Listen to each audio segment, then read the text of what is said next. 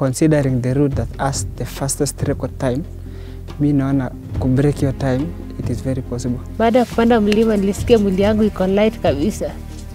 Nilipanda mlima ile sijawahi panda katika maisha yangu, ni kama mwili imekuwa different, sio the same vile ulianza huko chini. Chenye ilinipatia nifike huko juu, unajua ni ile hisia, unataka kufika uone huko juu inakuwaje, kwa sababu haujawahi fika huko, unasoma kwa vitabu. siwachangi mwenzangu, hata kama amelemewa namna gani, mpaka tufike na yeye penye tunaenda. Tukiendelea na hiyo teamwork, everything is possible.